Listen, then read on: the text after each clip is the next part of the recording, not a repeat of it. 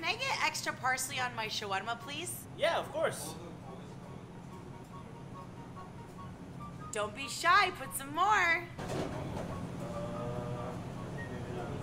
Is that good? Did you hear what I said? I said put extra parsley, please. There, you happy now? Do you listen to your customers at all? Like I said, put some more parsley.